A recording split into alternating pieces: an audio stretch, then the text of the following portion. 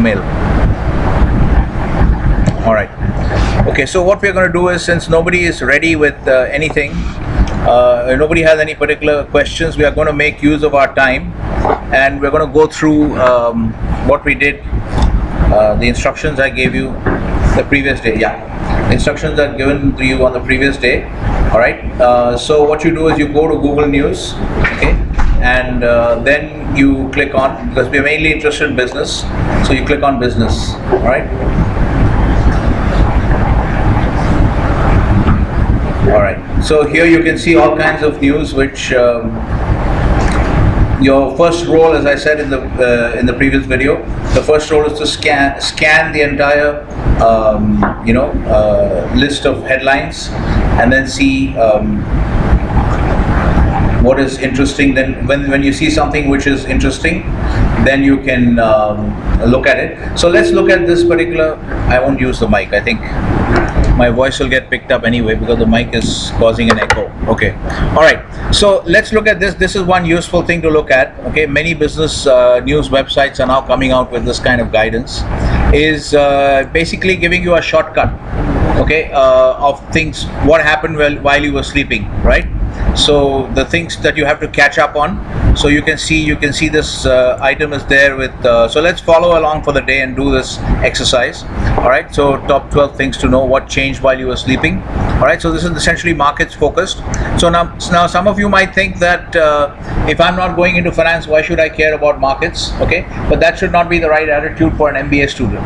For an mba student you don't really know what you're going into eventually right but uh, when you're going through your first year you should make sure that whatever is being taught all the different fields you have a pretty good grasp on what's at least you understand the basics of what's going on.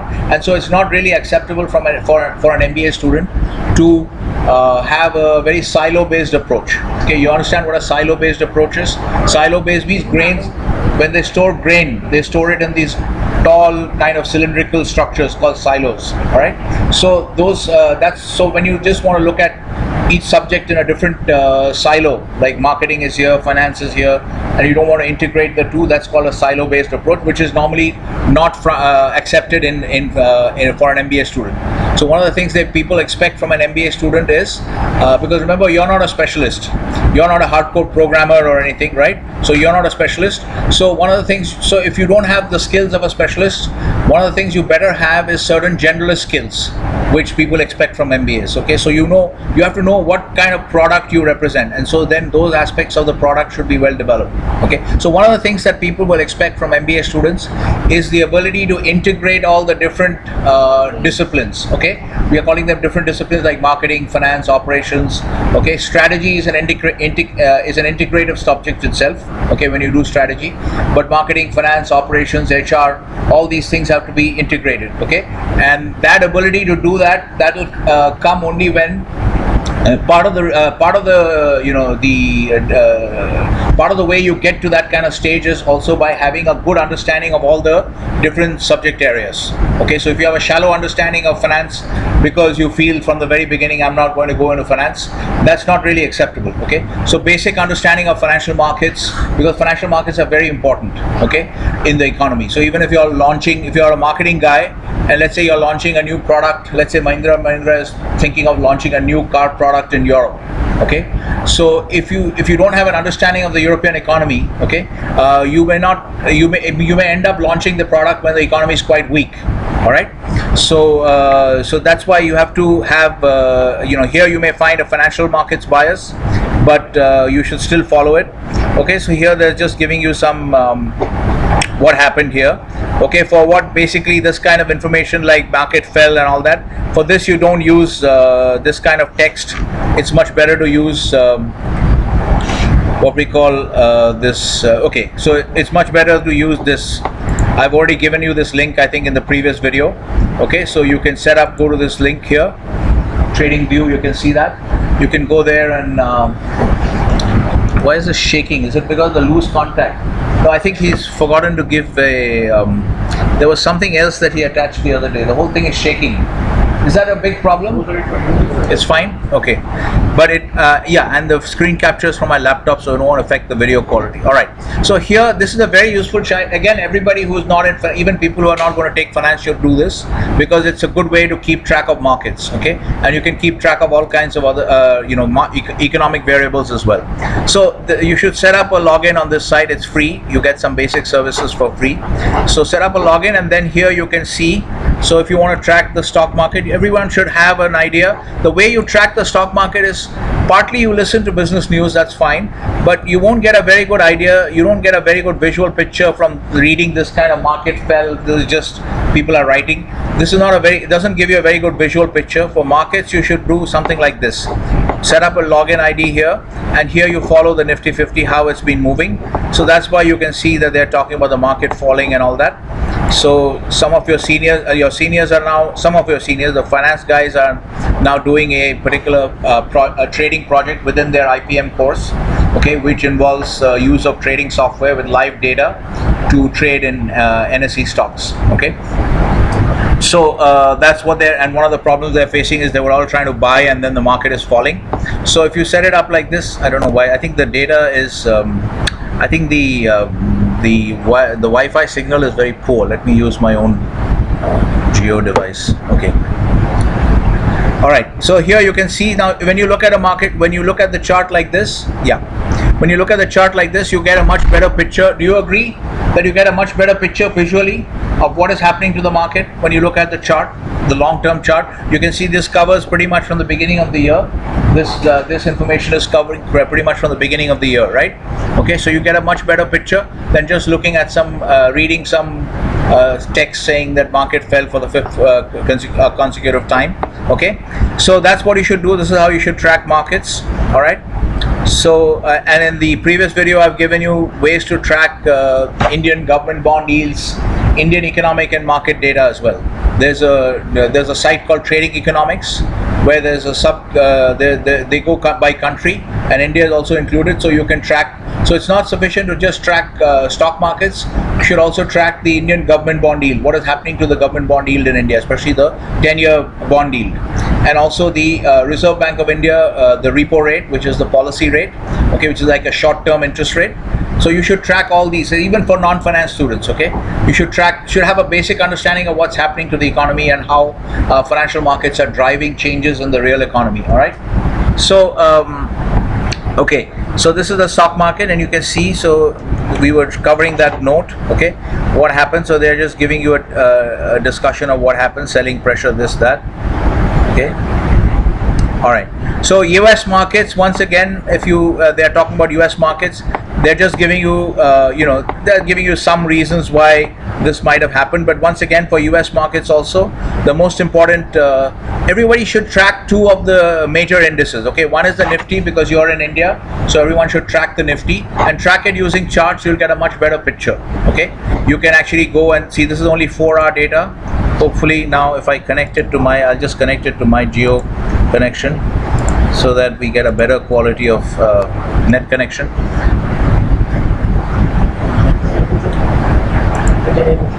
Yeah. If you when you're going outside see if you can find the Neeraj and just tell him to come inside because we are going to try and you know who Neeraj is the tall IT guy? Yeah. See if you can find him and then uh, tell him that this picture is shaking here. Um, we want to try and correct that okay? All right okay so what was I saying? US markets okay? So two stock indices which everyone should track. Okay one is India because you're in India all right? So you should track the Nifty 50 and then the other one you should track and what I was saying is what you can do is instead of Sensex. sorry? Sensex is, Sensex is not required because Sensex is only 30 stocks and it's also an unweighted average. So Nifty 50 is much better actually okay so Nifty 50 is a better index to track okay? So and you don't want to track both of them it's not really required okay? So to save your time because you'll have to track a lot of other things as well just track the nifty that's good enough okay? And try to follow how uh, the news flow is driving uh, how the news try to connect the news flow to the market movement. You may not be able to do it and that's also a learning if you find that I'm not able to understand how the market is moving compared to the news, the, I mean, the media will always have an explanation, but very often those, those don't really add up. Okay, but just try to follow the news as well, and at the same time follow how the market is moving. All right. So this is only four hours of uh, data. So like every four hours we take the data. So this covers only from here. You may find that. Uh, okay, all right. Okay, so uh, you may find if you if you go to one day, you'll get more data. You'll get to see more uh, of what has happened. See now you can see much more data on the Nifty. Okay, so you can see you get a longer term perspective yeah so you can see you can see it all comes all the way from 2013 all right so here you get so it's very important to be following major markets in this manner so you get to see the long term trends because these are the more important uh, trends. Otherwise what happens is when you look at this oh the wall street wall street fell from record highs etc then these guys oh market fell for the fifth consecutive session. When you look at the media reporting like this so the media has a very short term focus and they tend to sensationalize things all right? So they say the market crashed and all that. But actually when you look at the long term trend it's not really. Now if you look at the if you look at the media news over the last couple of weeks it's very bad right because the market is falling in the short term but when you look at a long term chart of the of the Nifty, you can see that it doesn't look so bad in the long term context. Are you following what I'm saying? All right. So that's why it's very important to be able to follow. Markets should be followed from charts. Okay. Stock markets, bond markets, everything should be followed. Long term trends and using charts, not mainly using the media. You use the media for other things. Use the media for news okay like there's a merger between two companies or some companies buying some other company. That's that you can't get just from the chart. You you have to follow the news to get that information which is also important. All right? Okay? All right so you can do that. You can change the time frame and you can play around with these things. Okay? Uh, and uh, so this is one. And as far as us markets are concerned i was saying two markets which everyone has to track. The next one is just use this ticker called spy you can think of James Bond and use the sticker called SPY. SPY is actually an exchange traded fund. Okay, uh, it's actually a proxy for the S&P 500 index. Okay, which is the most important index in the U.S. All right, so you can see how uh, the US market has performed. Now again, this is a daily chart, so you get a lot of data here. Okay, so you can see the long-term trend in the US market and you can see how well it's doing. So one easy way to uh, get a sense of what the economy is doing in a particular country is to look at the stock market. Generally, the stock market is a pretty good uh, uh, barometer or uh, predictor of what's going to happen in the economy. Yeah. ये थोड़ा shake हो रहा है ना last time भी आपने कुछ किया था शेकिंग के लिए क्या हुआ था पता है something happened last time last time भी ये हो रहा था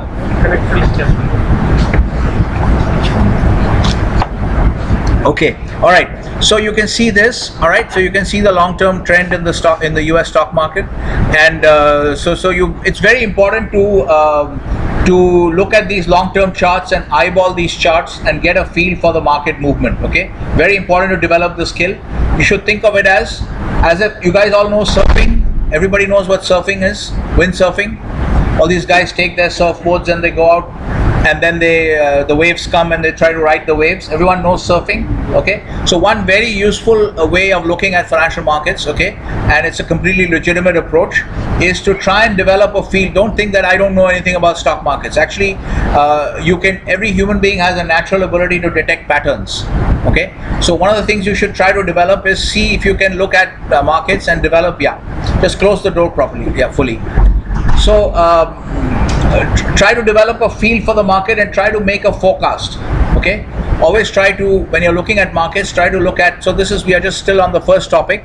They're talking about what is happening in markets all right? They're just doing a market recap. So we're going to use this to give you some general principles and clue you into, into uh, this practice of tracking markets and forming views on markets okay? It's a very useful skill all right? Yeah. Uh, yeah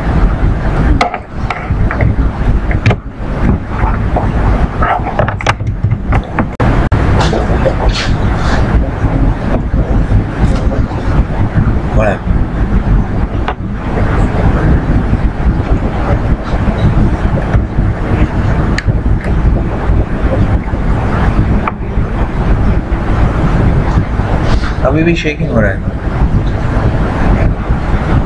shaking हो रहा है हो रहा है देख लीजिए थोड़ा सा all right okay guys so what we were saying is okay but uh, so so what we were saying is you one of the things you do is you form so for the US market this is an exchange traded fund the spider uh, spiders trust SPY is the ticker just go into this box here and uh, type SPY all right and uh, you'll get this here you make sure yeah attendance sheet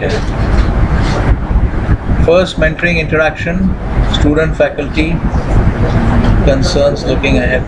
Okay you guys can just uh, we'll we'll distribute this later on. We can just look do this later on okay?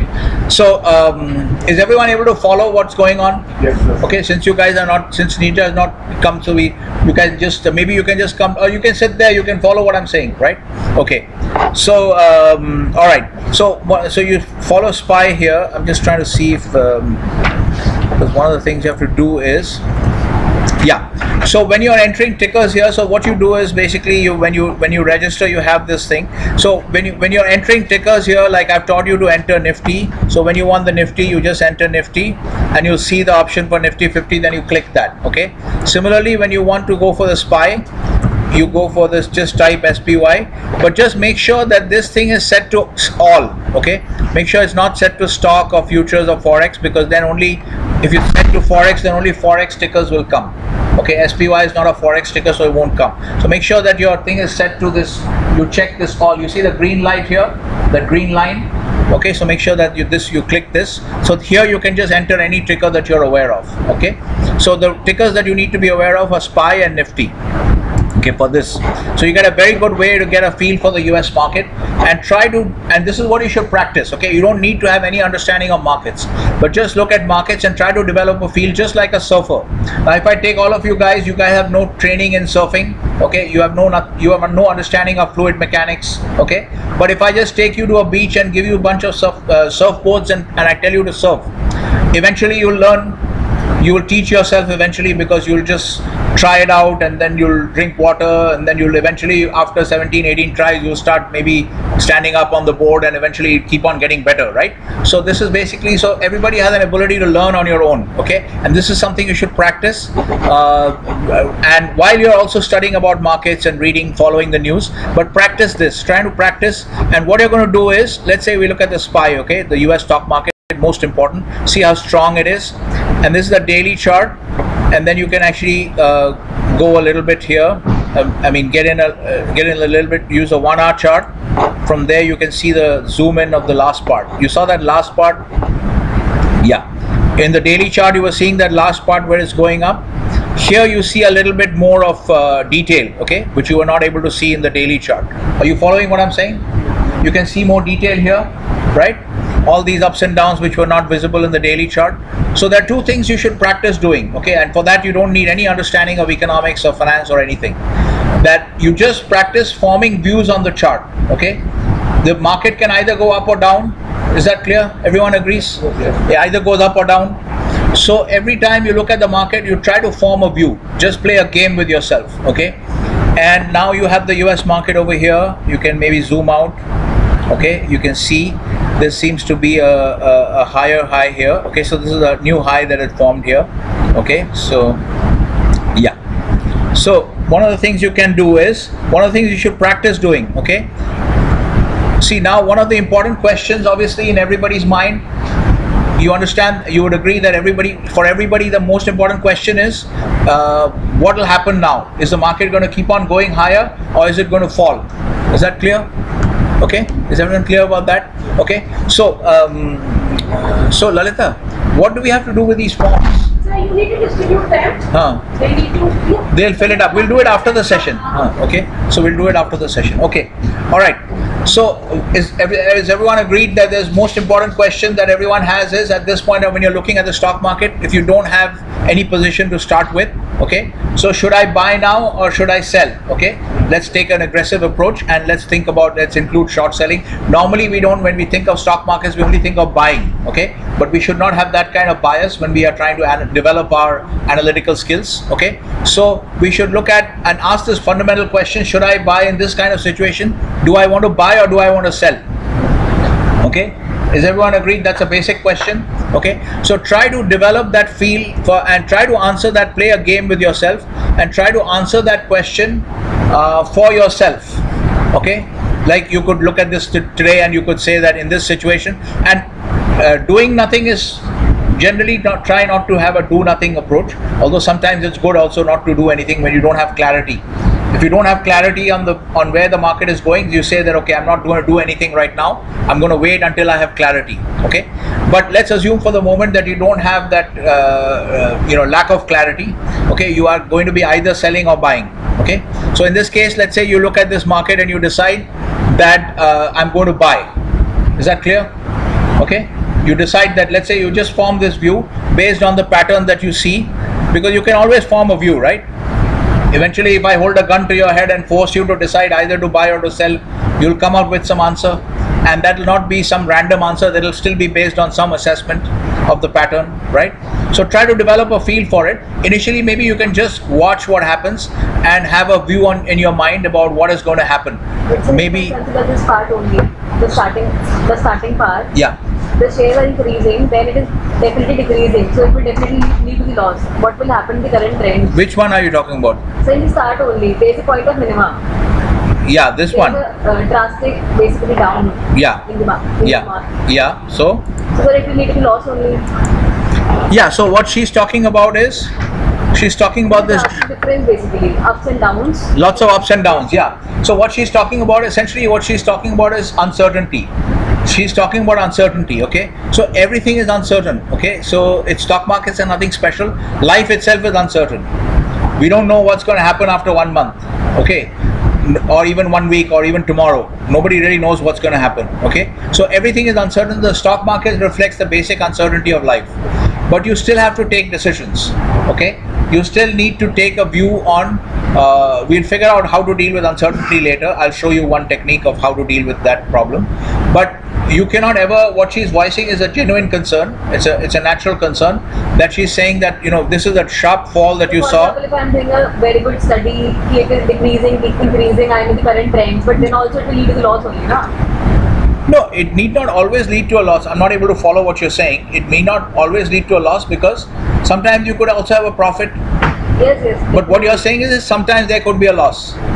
That's what you're saying. There is actually drastic uh, dip. So how are will be able to know that You're talking about this it will fall. You're talking about this fall. What she's saying is that if she calculates the value that today the value will be this and she'll buy the Yeah, one by one, one by one. Okay, let's try and use the mic. Let's see if you guys have an echo if you use the mic. No relation to loss or profit in this. Let one by. Let's go one by one. What is So it? she's saying that if she calculates the value at a particular point, that today the value will be this. Hmm. And if she buys the share, she's saying what is the point of buying if I know that after some time it will fall only.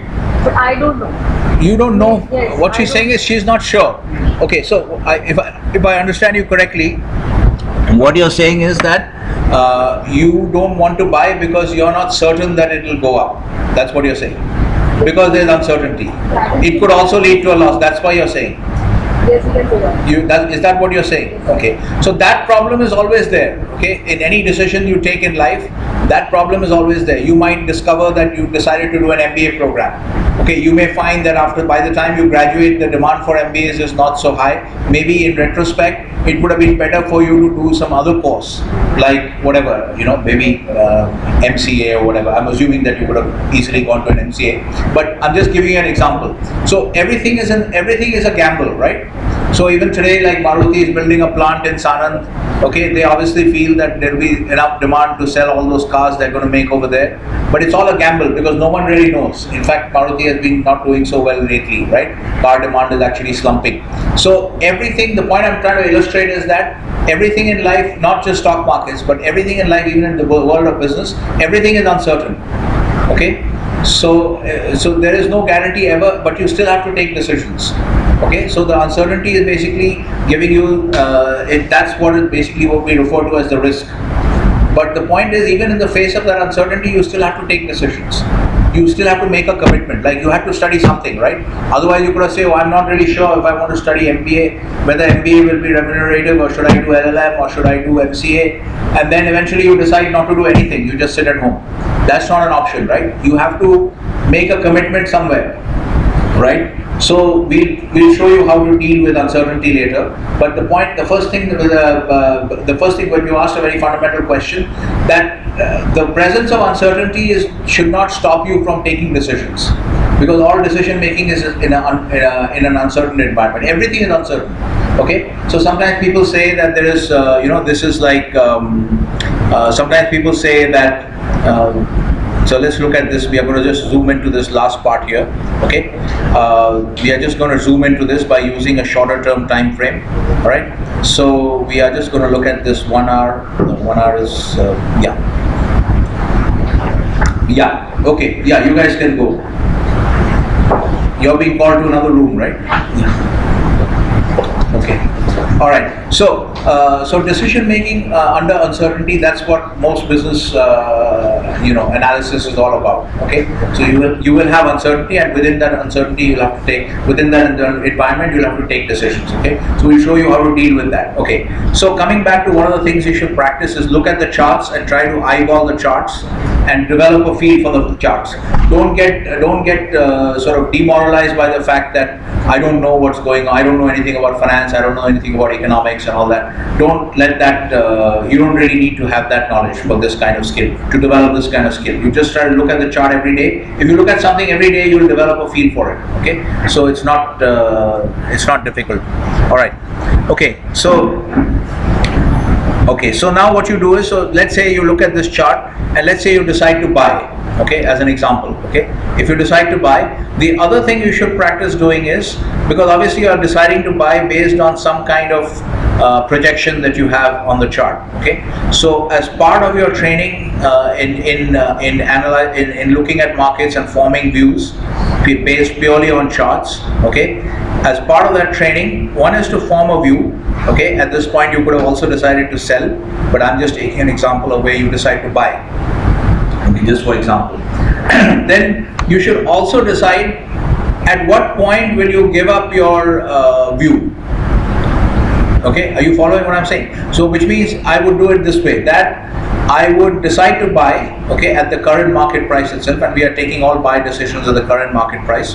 But I should also have, so my analysis is not complete, my practice is not complete until I also mentally tell myself the point at which I will give up my position. Now you bought, that means you have a problem in, in some sense, what she's hinting at, that if you have bought, now the market starts crashing, then you'll have a problem, you'll lose money, right? So if you bought one share, let's say at 300, and then the market keeps dropping 292, 290, 288, 284, 280. If it drops all the way here, you're losing all that money. Okay, you're losing like twenty dollars per share. Okay, and the U.S. markets you trade, you have to trade in the market lot is 100 lot, 100 shares. Okay, so uh, you're losing all that money, so that you can't afford. So therefore, you need to have a plan. This is where we come to directly to your, uh, you know, switch it off. So this brings us directly to your question about uncertainty right? So this is what you were talking about essentially, that I buy. Now what happens is I bought it at 300. Now the thing starts dropping and it goes all the way, it keeps on falling to 84, 280, 276. Now what do I do? Now I'm paralyzed with fear because I'm losing money, okay? So the other thing that you should practice uh, as part of your training is um, is also form also have a plan okay first you form a view that you're going to buy okay I'll come to the selling part also later. But first, you form a view that uh, you're going to buy, let's say, okay, as an example. And if you've decided to buy, you should also have a, you should also mentally identify a point on the chart because your decision to buy, remember, you don't know anything about the US economy. You are just looking at a pattern. You're just looking at a pattern and taking a decision. And essentially, when you're buying, what are you mentally projecting for this pattern? Are you projecting that it will keep on going higher or keep or, or start going lower? Higher, right? Obviously, your mental projection. See the whole process that is happening because we are assuming here you don't know anything about the U.S. economy. We're trying to teach you to be technical traders. It's a very important skills.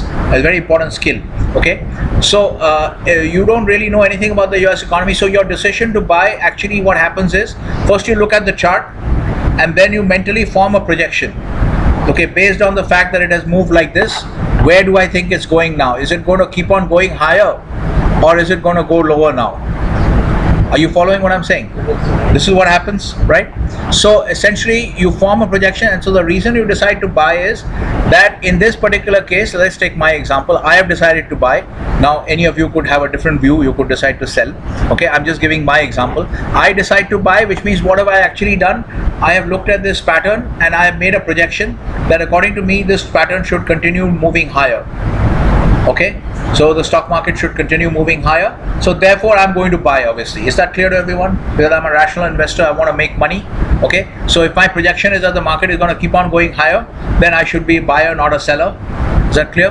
Okay. So this is what, how the logic works okay? So you buy. Now you should also as part of your pattern projection because your decision is based purely on pattern analysis okay? So therefore you should also do this part which is identify a point on the chart. Now i'm zooming in here. You should also identify a point on the chart at which okay or beyond which you will give up your uh, view. Like i looked at this you understand what a view is okay i have a view that the indian economy will be very strong in the future. I have a view that the european economy will be very weak. Okay these, this is called a view. That means like a it's like a prognostication okay? Like a projection. So the other thing that you should do is then uh, based on I have this view that the market is so what is the what is the point on the chart beyond which I will uh, give up my view? Right now I have a view that the market is going up okay and what is the point which the chart is depending, like uh, the companies that are in the trading barriers. What is the performance and No, at this point, see, your orientation is slightly different. Okay, what you're doing is you, you are now talking about the companies and what is their performance and all that. We are now trying to learn to trade in a purely technical way. Okay, uh, so that is also important, but at this point, don't get into that so much. But I'm just saying because remember that your view is based on you don't know anything about the US economy. Okay, your view is purely based on the pattern analysis and the projection. So you should stay focused on the pattern. What you're saying is not irrelevant, okay? That is important. That is in the realm of fundamental analysis, okay? But we're not getting into that right now because we want to try and understand uh, technical analysis as a pure approach, okay? How to use chart, yeah. Sorry, are they trustworthy? Okay, so that's a long question in the sense, in general, see, there are lots of problems uh, with mutual funds, okay, uh, which uh, essentially. Uh, There is a lot of un- uncertainty is there. So if you give up that, what will the prices go or down? So can we consult uh, uh, mutual funds so that they can trade our money in, in the, that particular share?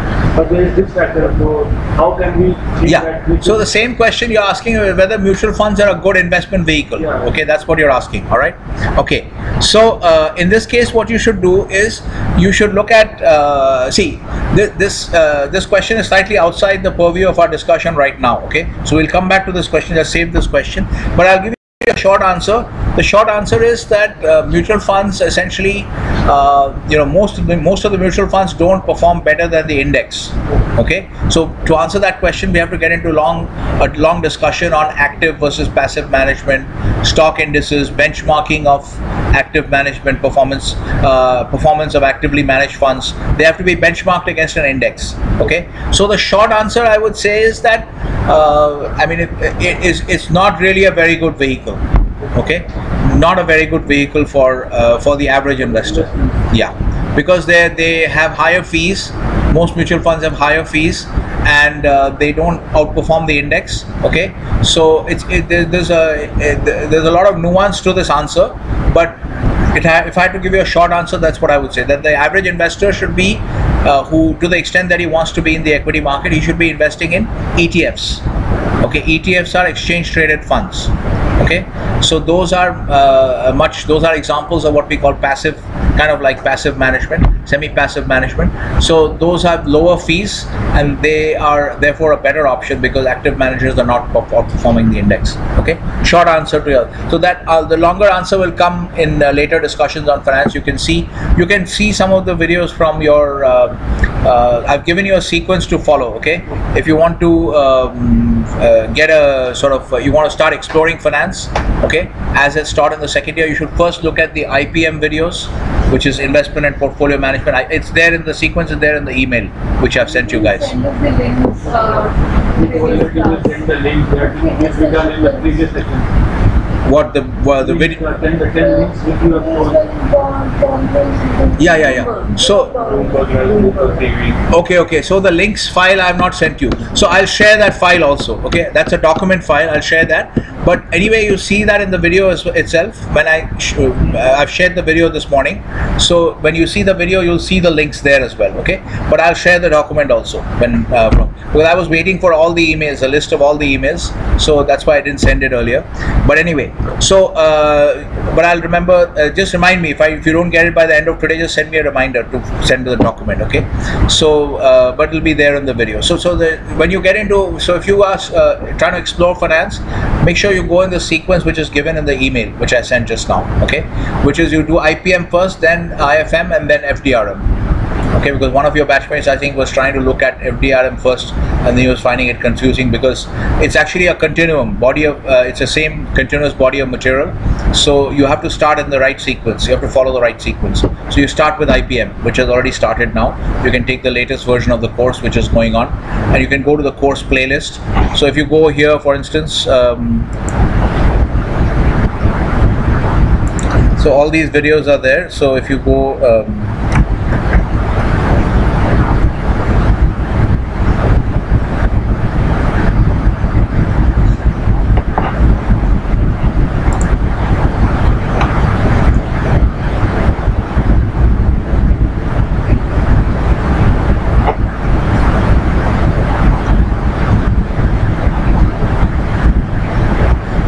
so I'll just show you this.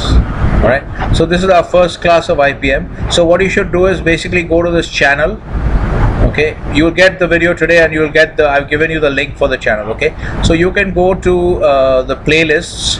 Okay? If you go to the playlists you'll see all the courses. So what I'm essentially telling you is don't start looking at finance from uh, here FDRM or IFM okay? Start from finance from IPM okay?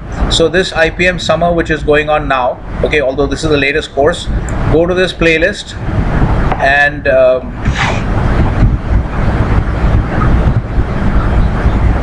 yeah if you go here you'll see all the videos are actually here okay? So you can see all this so you can start from the first session onwards and then you'll get the that's the right way to start okay? So if you want to explore finance you can look at it from this perspective okay? That's fine. All right. Okay so coming to your um, yeah so what we were looking at so we answered your mutual fund question to some extent okay? So if you go forward and look at the other courses in some in some of the this topic has already been discussed either in ifm or fdrm one of the two courses okay? Uh, this is discussed under uh, the topic of traditional asset management versus alternative asset management okay? So there i've discussed all these phenomena that the mutual funds are a form of active management mo- mostly active managers uh, mutual fund managers and they're not outperforming the index. So the whole issue of benchmarking everything is covered in that uh, discussion. So you can go to those videos and get a better idea of that okay? All right. So what were we saying? We're coming back to our old, old problem of uh, taking a view on the market and then also so remember that basically what i was saying is that your view on the market that is your decision to buy. Okay your view is that the market is going to go up okay which we call a bullish view. Okay if you if you feel that the market is going down then that we call a we, we call that a bearish view okay? So bulls and bears all right so you can learn that also now. So now how did I say, how did I decide to buy or to sell? Because the most fundamental decision, one of the most fundamental decision problems you face when you look at the market is should I buy or should I sell? Right? Okay. So then how the we are teaching you to solve one way to solve that problem is to just use technical analysis. Okay. That is just to look at the chart patterns. Okay. It's a very important approach. Uh, so we are teaching it's a very objective and it can be done in a very systematic way. So what we are doing is what have I done here? I looked at the chart and I mentally made a projection. Okay based on my pattern analysis which any of you can eventually end up doing okay? Um, you don't need any training for that you need practice okay? So uh, you form a view look at the pattern form a view uh, take uh, i mean form a uh, mentally form a projection on this chart. Develop what the uh, make a projection which way is this chart going? The projection is that for me the projection is it's going higher and therefore i bought okay? Is this clear? Okay. Now what i'm saying therefore is uh, as a next step, okay, which comes to your ma- managing the uncertainty. But I'm not really sure that it will go up. As she said, it could also go down. It could come crashing down. I could lose a lot of money. So how do I manage that risk? Okay, because I need to make sure that I don't lose all my money. So here we come back to the way you formed the uh, how, the way you took the decision to buy. You made a projection, okay, based on the pattern. It's based completely on the pattern, nothing else. So you should also identify a point on the chart beyond which your projection is no longer valid in your own mind. Okay, so let me give you an example. Okay, suppose I say that uh, July is going to be a very dry month. There's going to be no rain in July at all. Okay, suppose I say that, and then I find that the like uh, first 10 days of July there's heavy rain. Okay, so obviously already my view is wrong. Okay, so so if I if I'm projecting some kind of uh, damage to crops because of very dry weather, but the first 10 days of July there is like heavy rain. So at some point of time, I have to because I made this forecast right that there'll be no rain in July, there'll be a drought and the crops will be damaged. But the first ten days, I see that there's heavy rain. So obviously, I, I can't just sit there and keep on saying that July is going to be a dry month, right? Something is wrong with what I said. Is that correct? Are you following with my forecast? Something's wrong because the evidence that I'm getting, okay, and every day you get new evidence because life keeps moving forward. So the evidence that I'm getting shows that there is some problem with my forecast, right? Are you following what I'm saying? So therefore, at some point of time, I need to have some figure, like maybe it's 10 days of rain, maybe it's five days of rain, okay, or maybe it's three days of rain. At some point, I need to have some kind of mental benchmark even before uh, July starts. Even when I made the forecast that July is going to be a totally dry month, I should already have a plan that okay, I said this, but of course, no one knows what will happen. So if maybe there's rain for the first three days, I will withdraw my prediction. Okay. Are you following what I'm saying? Something like that can be done, right? That's a logical way to approach. So similarly, my projection that this thing is going to keep on moving higher is just based on my analysis of chart patterns. So therefore, I should also. And what is the pattern showing here? Essentially, you can see here, uh, as you saw here, there was a big drop and then it's rising. But you can see a pattern of highs and lows. Here you see all these highs small small highs can you see them and then you see all these lows here one low here low here low another low here. Can you see this? So you can see this sawtooth pattern right? Going in highs and lows and you see this everywhere. Okay this is not some frivolous thing that i'm just pointing out to you right? This is uh, this is something you'll see everywhere. Whatever chart you look at. You look at economic data you'll see this all right? So you can see this pattern. So one of the ways i can do this is I see that okay, this pattern is going in this sequence of high, high, another high here, okay, another high here, then there's a low here, there's a low here, low here, another low. I can identify these points. So one easy way for me to do this, manage my uh, risk is suppose I bought at 299, okay. Now I can mentally say that um, I'll set this point. Let me set this point because there's a low here okay? So the market is when the market starts what i'm uh, when i've gone long when i've gone long this is called going long. When you buy something we say we have gone long okay? When you say when you sell something we say you have gone short okay? So now when i've gone long what is my fear? I'm not worried that the market will go up am i worried the market will go up? I'm not worried about that because the market goes up i'm making money right? My concern when i'm not able to sleep at night is because okay well, i'm remembering what she said that the market will drop okay? So that is my concern so i'm only worried about the downside But okay we have to pick up the elements of stability, na? When there is stable. Yeah i'm not able to follow exactly what you're saying but i think you're trying to say that we should try and protect uh, not lose too much money. Is that what you're saying? So according to me, we should play safe. Basically, there is a stability. It's no not no that but if you're playing safe you can't make money. Everything in life uh, uh, everything comes from returns right? So i, I mean sorry uh, returns come from risk taking okay? Normally sometimes in some situations in a in an inefficient market you can make returns without taking risk okay? But uh, in general returns come from taking risk. Are you following everything has to come from eh, because everything when you go and take a job oh. I, I hit this thing. I hope I didn't. Okay when you take a job and you're earning money that's a return. But that return came from what? It came from the risk that you took. You invested some money in doing an mba program. That investment may not have worked out because maybe by the time you graduate there's no demand for MBAs or there are too many MBAs you're not getting a good job. Okay?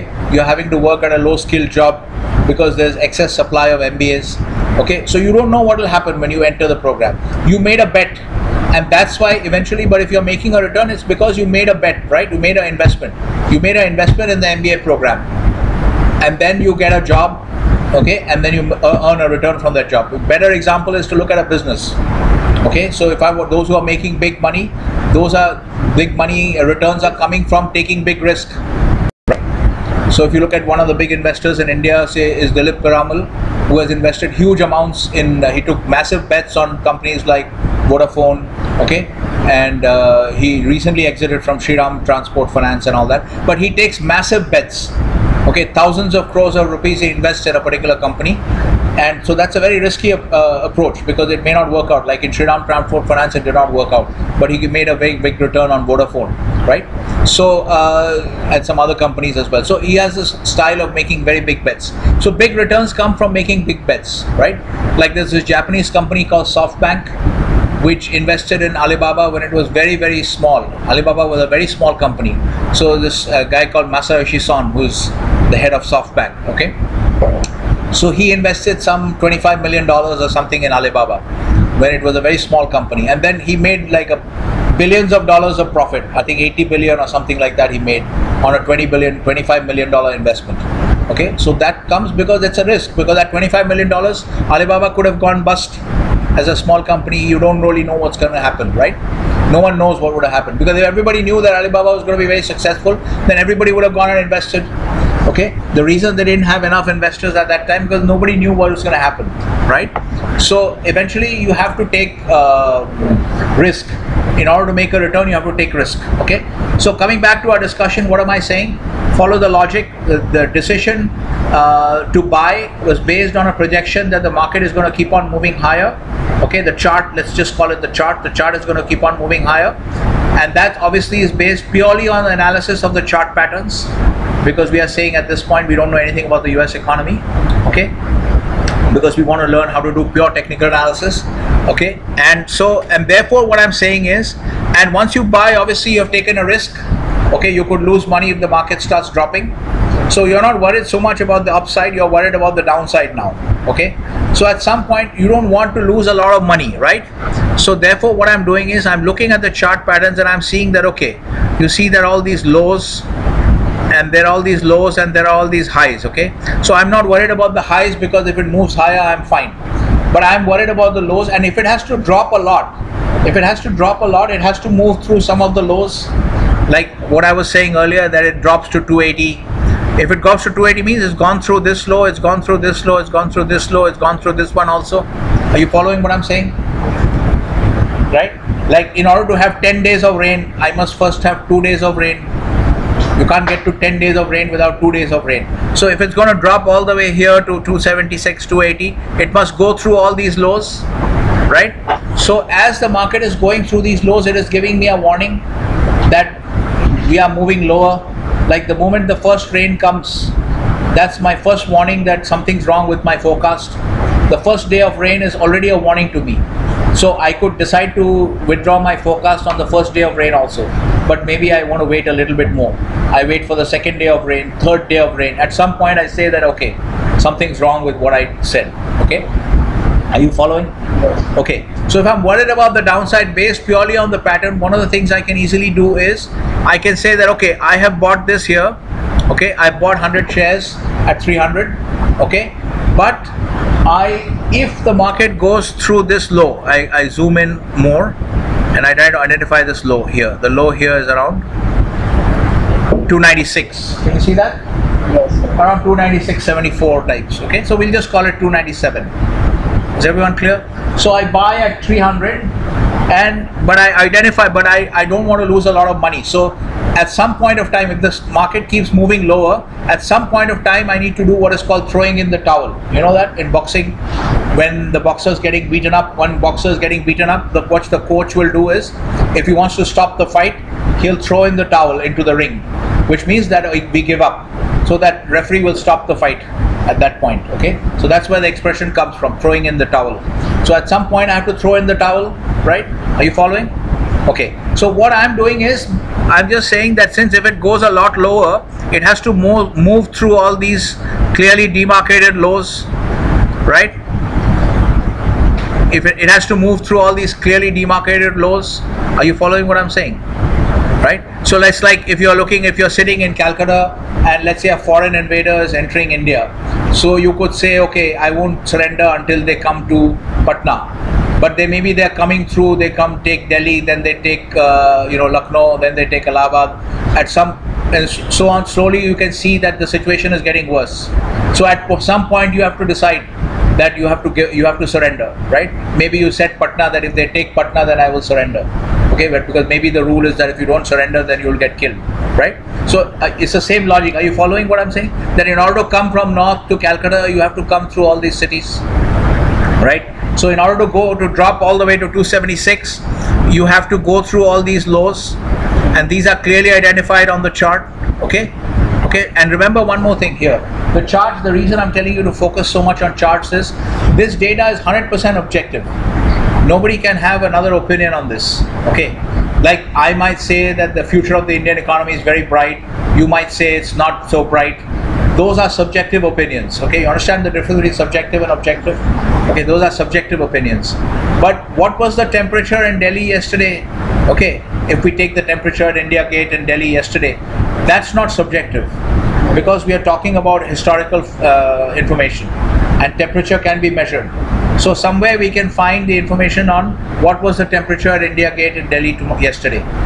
Are you following what i'm saying so that is objective information. So there is so when you're having discussions, uh, keep an eye on this, the difference between objective and subjective uh, approaches. Okay, uh, objective and subjective uh, topics or information. So here, what I'm telling you is markets charts are 100% objective because they're just plotting what the information, what the last traded price was okay and this is objective date this is objective information there's no dispute about this so when i'm worried about market moving lower i can clearly identify these uh, points because these have been marked by the chart. There's nothing subjective about this. These are objective lows. So one of the things i will do is not only will i form the view so as i said i form this view. This is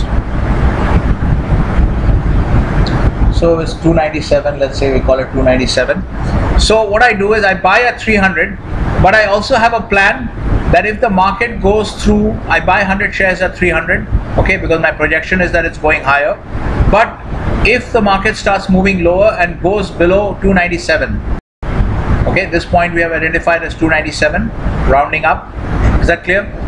So I also have a plan that if the market goes through 297, then I will sell. I will no longer maintain my position. Okay, so this 100 shares that I bought that we call a position.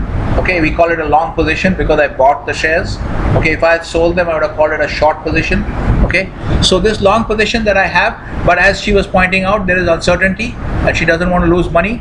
Okay, so you have to take some risk. You can lose. You'll have to lose some amount of money. Okay, if you don't want to take any risk, then you can't make any return. Okay, so uh, you have to lose risk some amount of money, but we are making it a small amount and we are keeping control over the whole process. Can you see that? So I'm also saying that I'm buying at 300 and I also have a plan that if the market goes below 297, I will sell those 100 shares. So then I don't have any, if I sell the 100 shares, then I have no position left. Are you following? So if I start, initially if I start with say $30,000 in cash, you guys have done balance sheets, okay? You've done asset side, liability side, okay? So if I start, let's say I have $30,000 worth of savings and I have no, now we are just doing a recap, okay? We're doing a recap of, uh, of um, the balance sheet, okay? So we can just do it here, assets and liabilities. So if I have, um, actually I like to put the liabilities on the left. All right, so if I have $30,000 in cash, okay?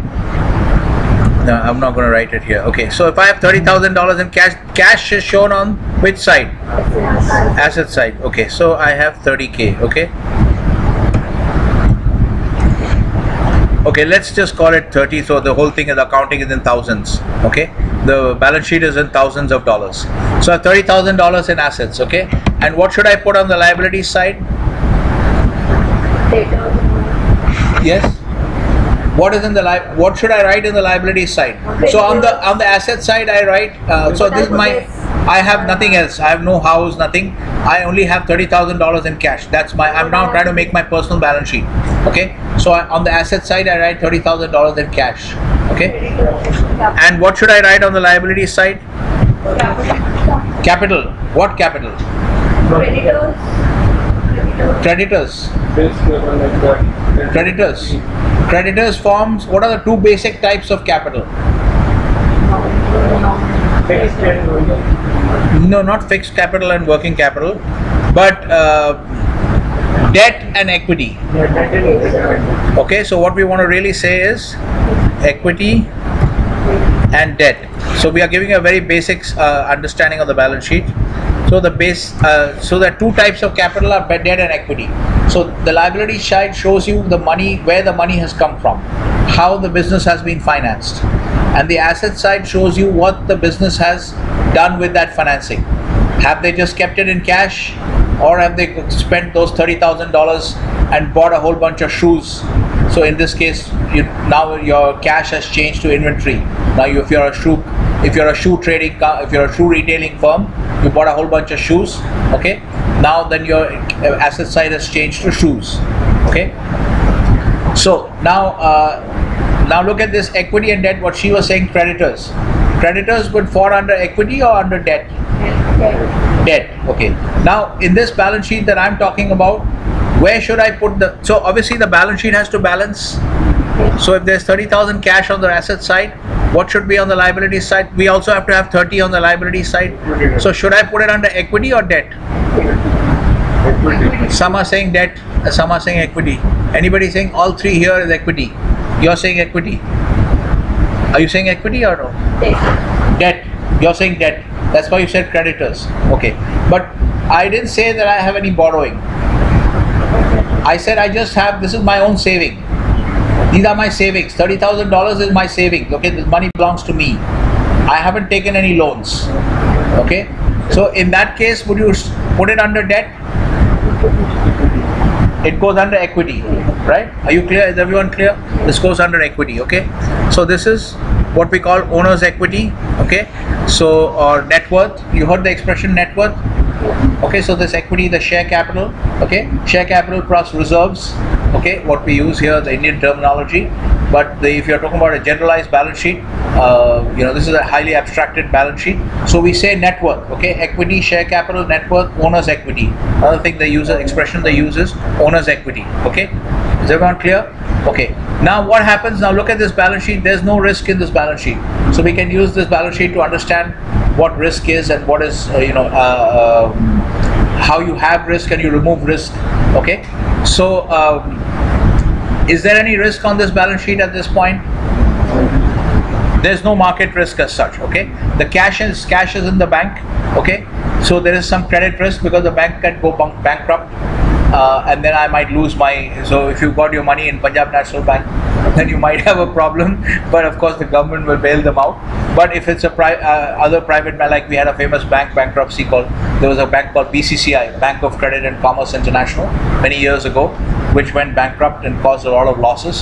So many banks uh, go bust in that manner. Okay. So uh, there is no market risk on this balance sheet. Is this clear? Is everyone following? Okay. So there is credit risk but there's no balance because the cash is in there. Now what do i do? I spend this i spend 20000 of the cash to buy shares what have i done here here i spent 20000 of the cash to buy shares okay so the twenty thousand dollars, the what would I said? We buy three hundred. Uh, we buy at three thousand uh, at three hundred dollars a share. Let's say we buy three hundred. Um, we'll we'll take the actual price. Where is it? Here. So what I do is I buy. Um, I'll just put it here. Three hundred share. Uh, sorry, I buy hundred shares, minimum amount. Uh, hundred shares at the price is three hundred. Okay okay so my entire 30k is wasted i don't want to do that i want to make this balance sheet a little bigger now okay so i'll start instead of starting with 30000 cash i'm starting with 70000 cash okay are you following okay So at uh, $300 a share, I bought 100 shares. Okay. So now what happens to my uh, asset side? The cash in hand will by 30,000, your assets will increase by 30,000. Yeah. Not assets, That, uh, um, non-cash assets. Non-cash. Strictly speaking, what you said, what he said initially, the reason I'm correcting him, he's correct. Uh, but just a little change in the terminology is, uh, we need a little change in the lingo, which is he said that ca- cash in hand will go down by 30,000 and assets will increase by 30,000. Okay, statement is almost correct, but there's only one missing problem. Assets, should not be using, you should not use the word assets here, you should say non-cash assets because cash is also an asset. Okay, so what will happen here now? This balance sheet will become 40,000 cash and we'll say uh, 30,000 30,000 shares. Okay, all right so in the us markets they would call this marketable securities okay? So we got 30k worth of shares okay? So this we say we call this a change in the asset mix. The expression that we use is that the asset mix has changed okay? The total size of the balance sheet has not changed but the asset mix has changed. Earlier the asset was asset mix was only 100% cash. Now we have moved from 100% cash to you know, uh, 40 40,000 cash and 30,000 shares. So there's a change in the asset mix. Is this clear? The expression we use is that. Okay. All right. So how are we doing on time? Okay, we have some time. All right. So so now what you have to understand is now is there risk on this balance sheet? Now there is market risk because we have our risk manager here. She's always worried that the market is going to go down, right?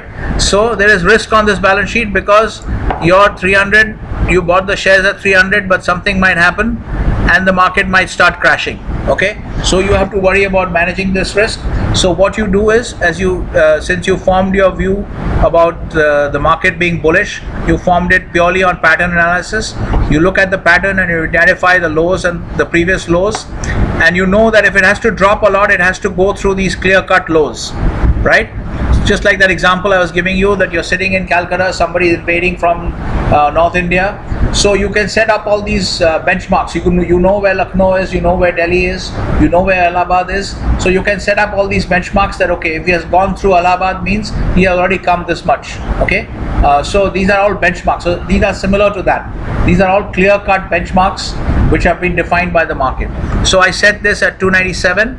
Okay, I have a stop at 297. Okay, so I have a plan that I will exit the market at 290. If the market falls below 297, I will exit. Is everyone clear about this? What does this do for me? This allows me to control my loss on one particular investment. Is this clear? Okay, so you're happier now. You're less concerned, right? Because we are not going to lose all our money. How much are we losing? Let's use the actual calculation 297. Okay, so we are losing basically we have 100 shares we have entered at 300 and we are exiting at 297 all right so our actual loss is maybe we should write it here okay? How much have we lost? What will be the formula? I bought 100 shares okay first let's do the number per share loss. Per share losses we want to write the loss like this. To, so that it will come out as a negative number okay? The exit price. My exit price is 297 are you following? My entry price was 300 yes? So we write the formula like this so that it will come out as a negative. Okay? Now is that good enough? Do i need to add something else? Into number of shares. This is the loss per share into number of shares which is here. Okay? So i've lost 300 rupees. uh, 300 dollars. Okay? Is everyone clear okay. So now you can see out of your total wealth of 70000 you invested only a little bit in the shares in uh, the shares that you bought. And although you bought 30000 worth of shares okay your gamble your bet that you made you made you understand what i say when i say that I, I made a bet okay? Just like when you're sending when in the world cup final dhoni promotes himself and goes up in the batting order he's making a bet. He's making a bet that that strategy will work. It may not work okay so that's called that's what we call making a bet so everything is basically a gamble okay so but you made a bet you invested $30000 in shares but actually the uh, risk on that bet was only $300 are you following this when you buy 100 shares at $300 a piece, 300 dollars per share, you buy 100 shares. The value of an investment is 30,000 dollars, right? That's why your asset mix changes. 40,000 cash and 30,000 shares. Okay, that's the value on the balance sheet. But the actual loss based on because of the way you managed your risk, because you looked at this chart, you looked at this chart and you said, okay, if it goes below 297, I'm out. Okay, which means I don't need to have any more risk. Okay, and being out again, understand it from a balance sheet perspective. When you go out, what happens to your balance sheet? It won't be 40 it won't be 70000 exactly it'll actually be how much? 69.7 right? Are you following? You're not following i think. You're not 100% clear. You understand why 60 why is it 69.7 now? Now i'll wipe out the shares. Now it is these 30 shares are not there. No 30k shares because i've already sold it off I bought it at 300, I sold it off at 297. Okay, now I'm back to the next balance. This is our scenario 3. Scenario 1 was all cash before we did anything in the stock market. Then we changed the asset mix, we bought the shares. Okay, and then that is scenario 2. Now, scenario 3 is the market started dropping and we executed our plan. We had a plan to sell at 297. If the market went below 297, we sold it. Okay, and now we are back to all cash. Okay, once again, the asset mix has changed to all cash. There's no more risk on this balance sheet, but we have suffered a loss. So, when you have suffered a loss, the size of the balance sheet will shrink. When you make gains, the size of the balance sheet will increase. Okay, are you able to make this connection between accounting? Is it useful for you to refresh your accounting knowledge in this way to understand it with respect to a real transaction? Okay, so now you're able to understand why it's 69.7? Why?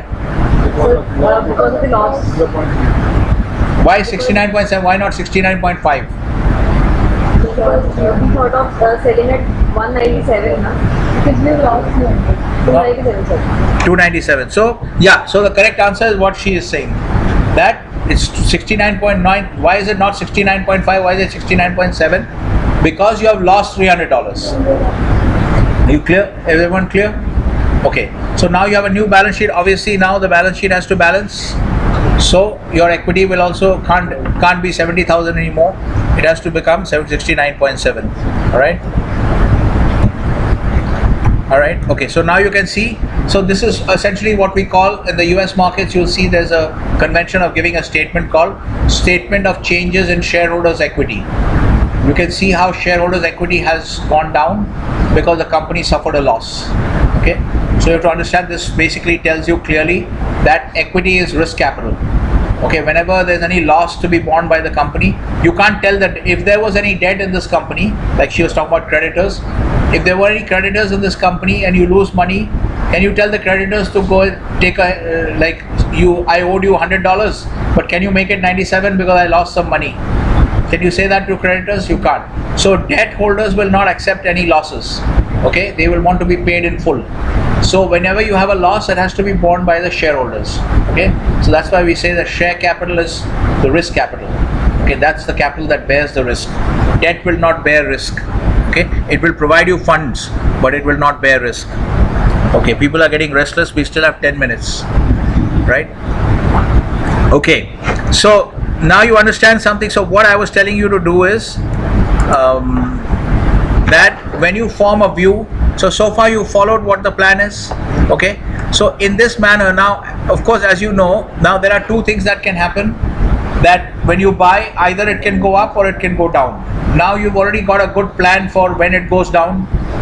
Are you satisfied that we have a good plan if it goes down i've already identified a point on the chart beyond which i will not uh, participate anymore. I will sell my shares and take my loss and be out. But the beauty of taking the loss is you can't lose any more money. You can't lose any more money on that investment because you've already sold it. You're gone. You're so you're safe now. You took a loss but it's a small loss right? Are you following? There's a major there's a there's a story that they tell about saddam hussein. You know when he invaded kuwait and then the us army came in and you know they they intervened. So there was a story then that initially he was told that you should just go back okay? And then obviously he suffered reverses.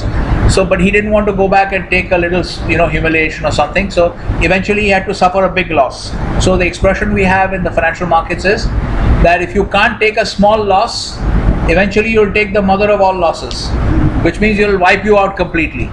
So if a guy who doesn't want to take like this 30000 this 30000 fellow okay he goes in and he buys uh, 300 uh, 100 shares at 300 but he is not willing to accept any losses. Because remember that when you take this 300 loss you have actually lost money. As long as you don't sell it you can still say no no it will come back. Okay. So you have not lost money yet okay? On paper you're losing but you have not crystallized your loss. So so therefore uh, but eventually what will happen is it can keep on falling and falling and eventually you may lose at 25000 20000 dollars.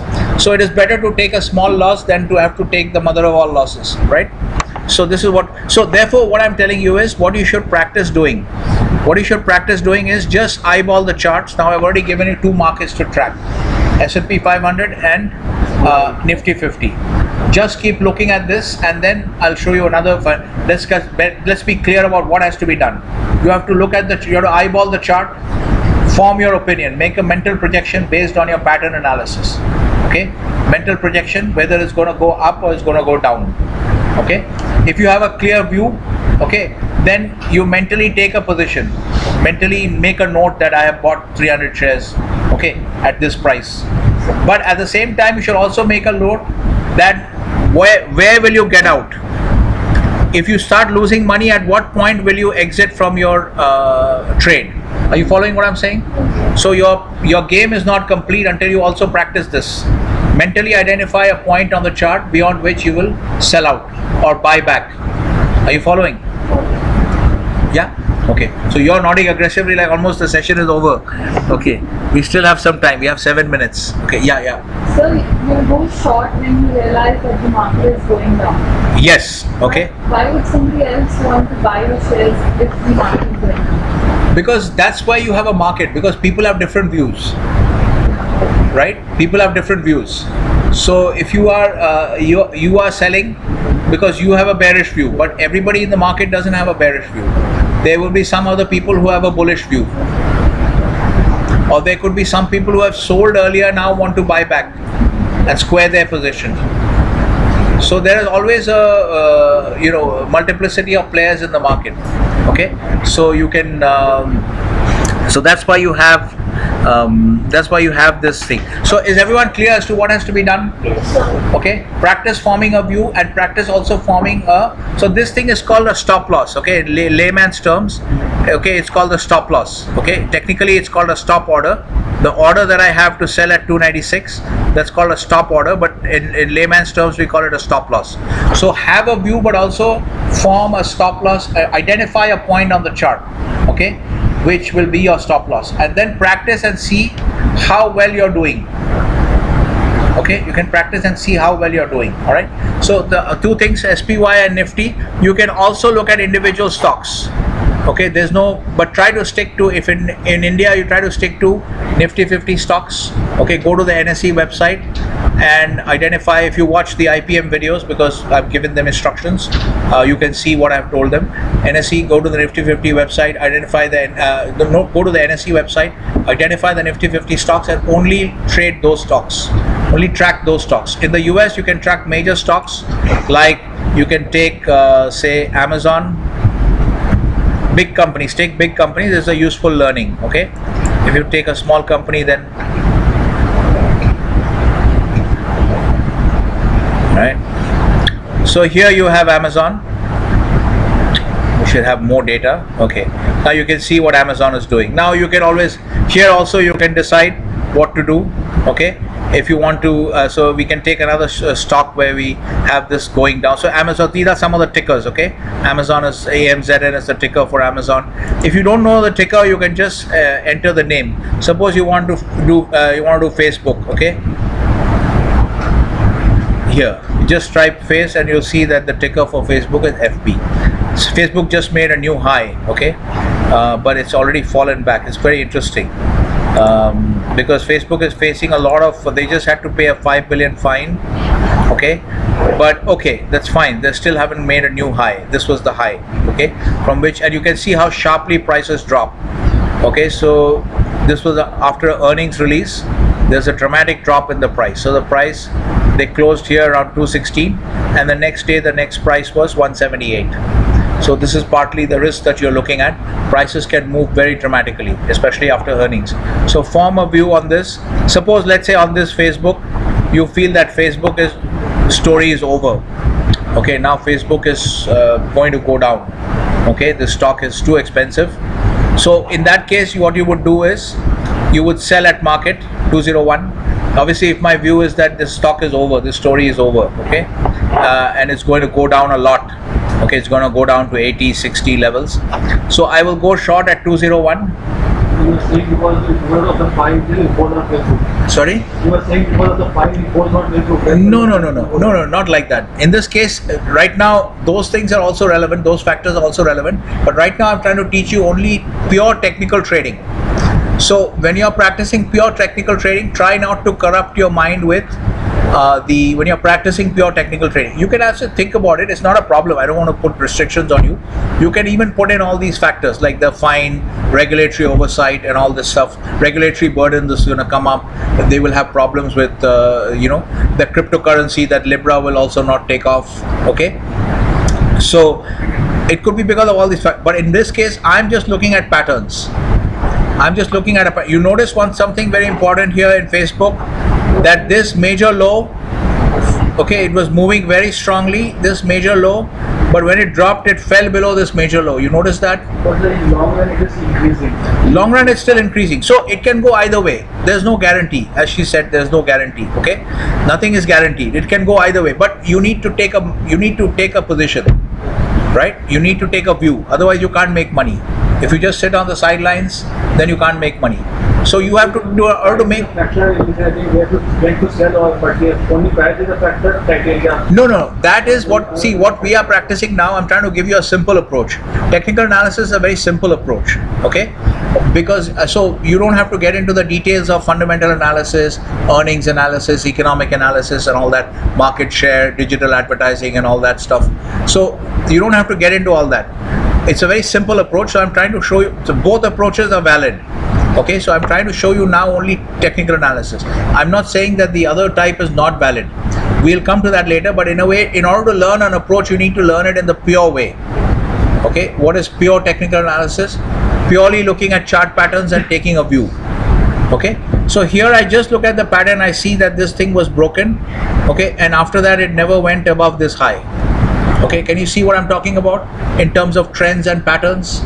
I see that there's very long uptrend since the IPO. Okay, and then it's gone up a lot, went to this new high, went from here this low, but then after that it dropped below this low, very important low, but never went. So far, it has not made a new high. Are you following what I'm saying? This pattern analysis. So I just take a call. I could be wrong. Okay. So based on this pattern analysis, I say Facebook is going down. The story is over. So I will sell it at 201. Okay. But again, comes to the same part which we discussed. Okay, one minute left. I'll just explain to you what I'm going to do on Facebook. Okay, 201. I sell it at 201. Okay, 100 shares. Okay, I sell 100 shares at 201. But again, I must identify because see, what was my view? This this major low was broken. Then uh, from here it had gone to this high. Then after that, no new high was made. That's basically what is driving my view.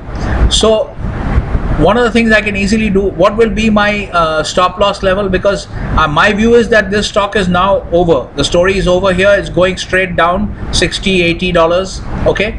So obviously, if the markets now start shooting up above this previous high, whichever whatever it was, I think 220, whatever. Let's take it as 220. Okay. Let's say it's 220 the market starts shooting up over 220 obviously something is wrong with my view is that clear so immediately i will exit my position so i identify this high as an easy marker for me that beyond this point my view is wrong okay so i put my stop over here so what am i losing 201 to 220 $19 per share This is clear?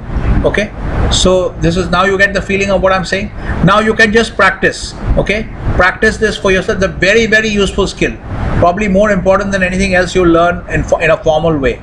If you can master this, you'll have tremendous confidence and you'll be able to play in the market and you can play safely because if you practice risk management you see this is what risk management is i'm just not going short at 201 i'm also putting a stop order at 220 which means that the market cannot really destroy me because i can only lose $19 per share.